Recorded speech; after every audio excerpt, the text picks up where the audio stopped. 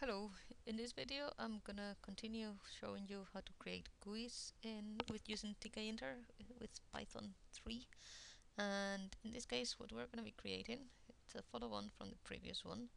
We're gonna have a welcome window. And when we click OK we're gonna open our wages calculator which you've seen before if you've looked at my previous video.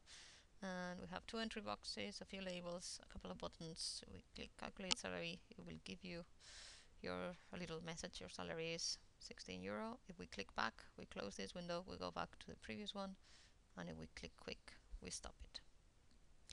So how do we create this program these two GUIs? We need to import tkinter we import it using the star character so we don't have to write tkinter all the time.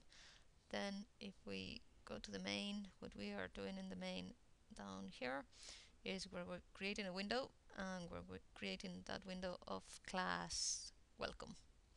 We enter the main loop and this is going to be the only loop that we're going to be running.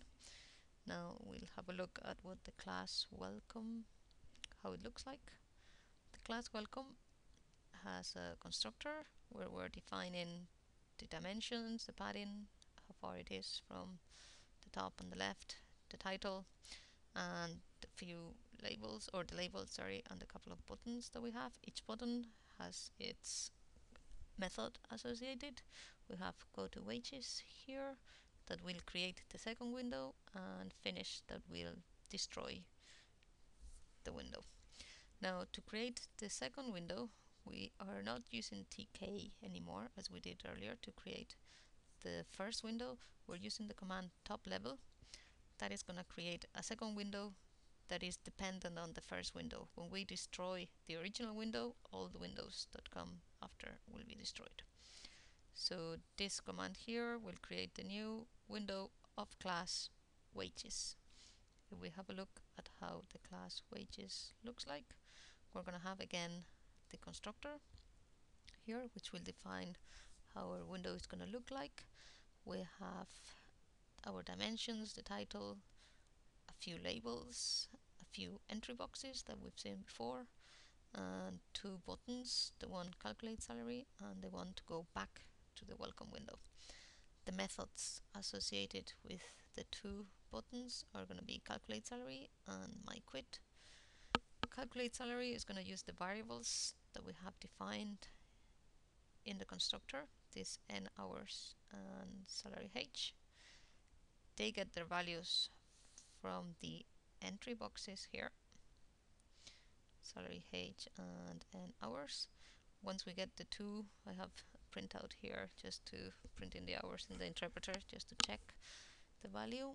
And we calculate we multiply the number of hours times uh, the salary per hour and then we print the result in a label. Now the difference between this code and the one we used in the first example is that we're using in this case an object-oriented approach where each window is a class and to refer to the variables or to any element basically on the GUI we are going to be adding the word self dot in this case label 1 or self dot salary h which means we're using that label of this particular or a part of a particular instance of that this class wages. The same with the variables. The salary h variable of the instance of the window. Uh, once we're done with the calculating the salary, when we click quick my quit in this case, we destroy this particular window and that will take us back to our main loop which is the welcome window and we'll stay there until we click quit that will destroy the master window. A look at it in action again. We have our TK window that is the one controlling the whole process. When we click OK, we open our top level window. We could open as many windows as we want.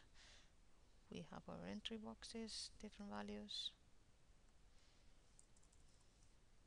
Calculate salary, the functionality is the same as in the other one back closes that second window and goes back to the one with the main loop. And when we quit, quit this one here we're destroying exiting the loop that we entered down here in the main. And if there was any code extra down here in the main it would then go on to execute those lines. In our case where we don't have anything in there and all our functionality is in the buttons of the GUIs. So I hope this helps and if you have any problem with creating the labels and buttons and so on, maybe check the previous video with the non-object oriented approach. Thank you.